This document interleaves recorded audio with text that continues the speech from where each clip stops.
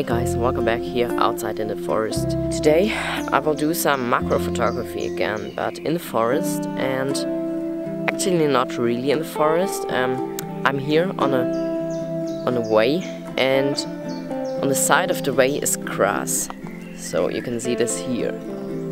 And I want to to um, look for some beetles or for some butterflies or just some insects I can photograph and yeah I'm really looking forward what I can do here. And I already took some photos and videos of a of a beetle or I think it's no beetle um, it's a butterfly but it looks like a beetle so yeah just look yourself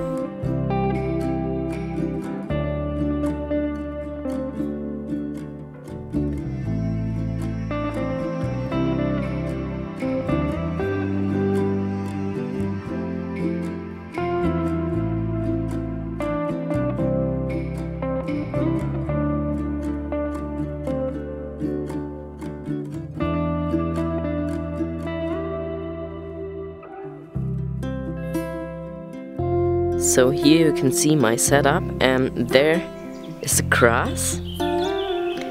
And I put my my backpack on the ground to use it as a as a little tripod because I have no tripod and that is going so close to the ground.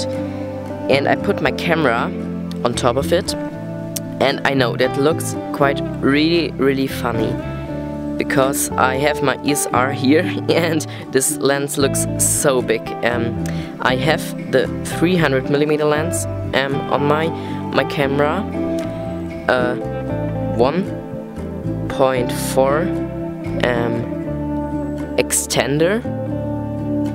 So yeah, and my two macro extension rings, and that's quite really big. and yeah, it looks funny, um, but that's working and that's the most important thing. Okay guys, there's the spider. I don't know if you can see it because it's green. And yeah, it's right here. And I put up my my camera to the tripod because the the spider is sitting in the grass and the grass is um, higher than on the ground so I can use my tripod. And I know it looks quite really funny because it's so long. And yeah. It looks quite good I think. Okay actually you can see not that much but I already took a photo and I think that looks good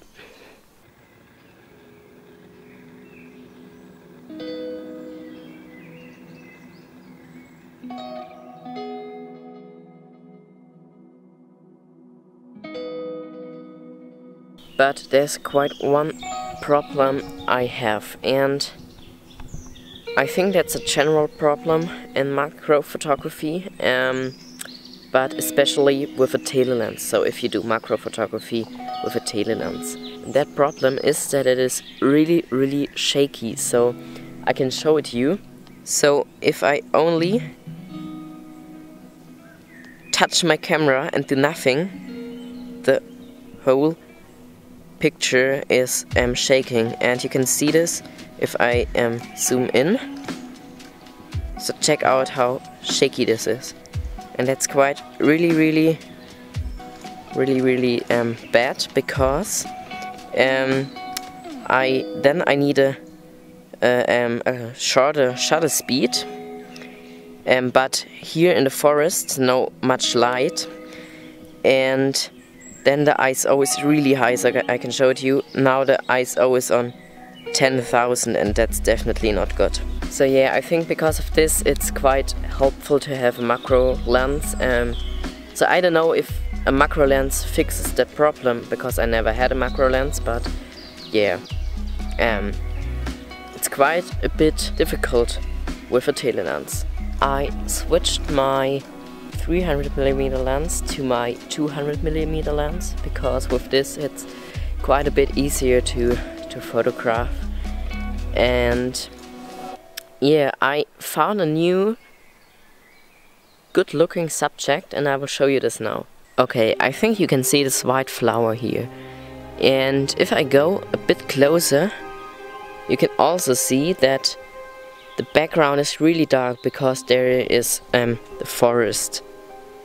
And if I set an exposure right to the flower, to the white flower, the background is really really dark or actually it's the background is black. And I'm waiting until a beetle is flying to this flower or to some other flower here because here are a few white flowers as you can see. And here then I will test it out to make a photo with a really black background and I think that can look quite really really good.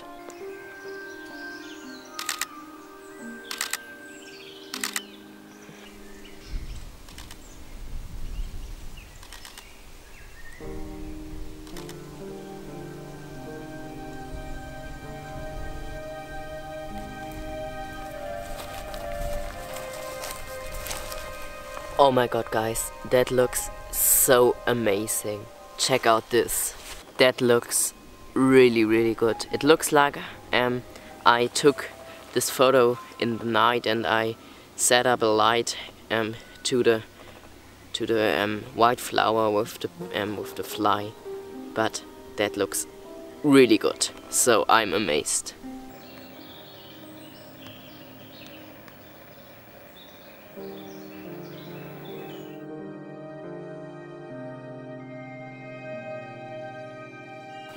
I just found something and I'm not sure what this is. Um, so it's like a dirt ball in a plant. So I can show you a photo here.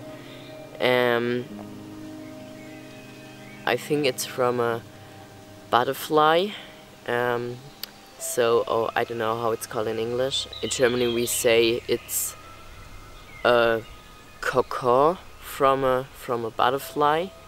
Um, so I show you here the, English translation. Um, but yeah, I don't know if this is correct. So if you know it, write it down in the comments. Um, yeah, because I'm interested.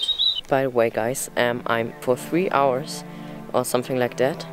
I'm here in the same area, in the same small area, um, in the forest all the time. So only here in this area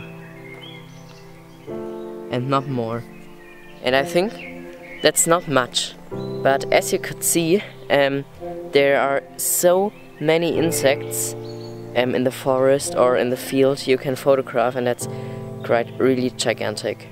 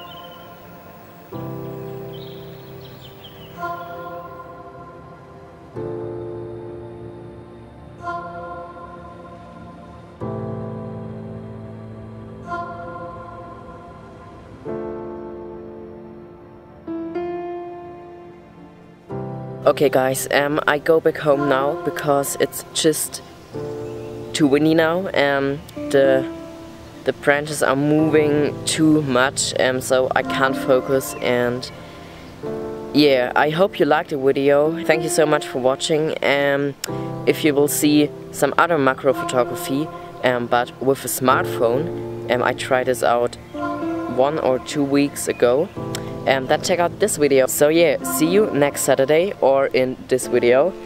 Um, have a great week and bye.